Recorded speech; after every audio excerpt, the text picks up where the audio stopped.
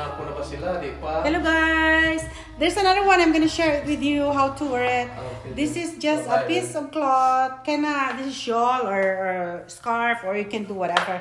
Um, okay, so what I do is like I tie this one here like this and the other end I tie like this. Okay, now what I'm gonna do, I'm gonna put my arm here.